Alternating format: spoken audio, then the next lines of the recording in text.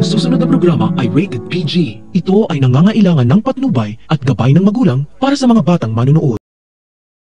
Dahil sa lola sa tuhod ni Ina na si Lola Rosario na tumulong kay Lola Aurea para simulan ang negosyo nito na pag-isipan ni Ina na tanggapin na ang bigay sa kanya na pamana.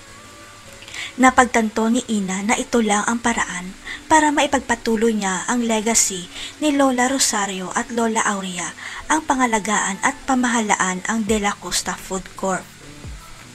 Inaasahan na ni Ina na mas lalong magagalit sa kanya ang kambal dahil sa pagperma niya ng donation agreement pero kailangan gawin ni Ina ang makakabuti sa kumpanya.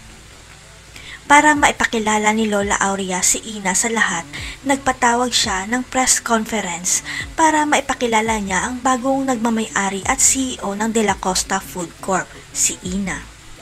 Ang hindi alam ni Ina, nagtulungan si Charlie at Joanna para masira ang image ni Ina sa media nang sa gayon mapilitan itong permahan ang kontrata na nagpapawalang bisa sa Mana.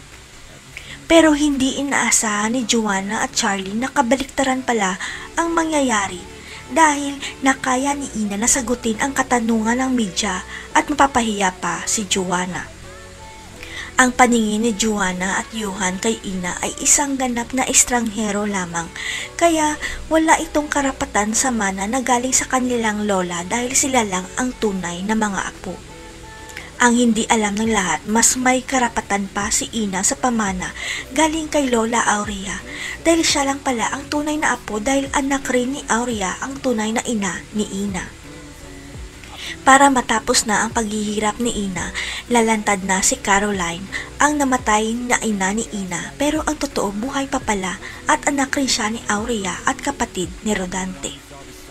Walang kaalam-alam ang kambal na pinadin-DNA test sila ni Aurea at nalaman nito na hindi niya pala kadugo ang kambal at magbabalik na sa bahay niya ang anak niyang si Caroline.